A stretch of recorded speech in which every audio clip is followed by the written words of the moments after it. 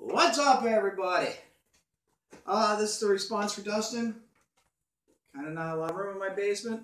First of all, uh, let me dab away my tears. That's how we do. J E T S, Jets, Jets, Jets.